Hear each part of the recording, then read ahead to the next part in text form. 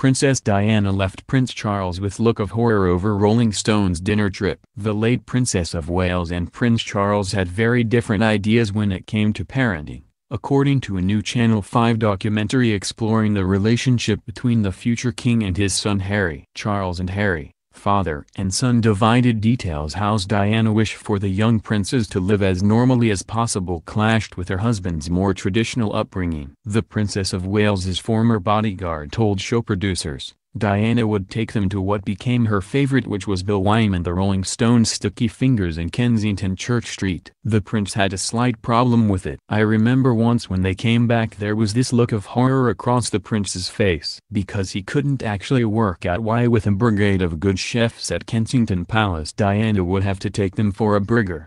He continued, there was this sort of natural gravitation toward Diana simply because Diana was the provider of the fun things that boys of that age actually wanted. Charles, interestingly enough, acknowledges that William and Harry were happy and engaged when in the company of their mother in those early days.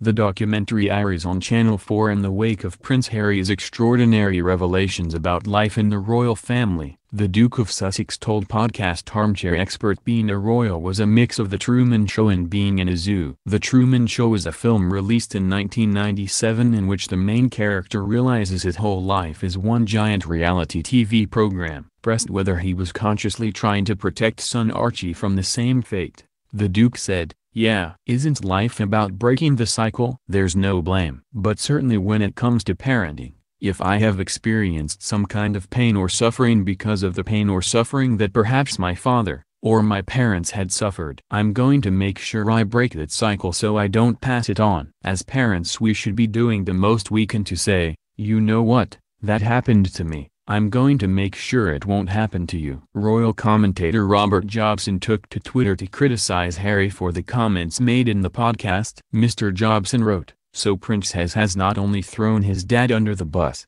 but the Queen and late Grandpa too for their parenting style. Forgive me, but he's been a dad for how long? Perhaps he should pen a book on how to parent properly drawing on his wealth of experience. For charity of course.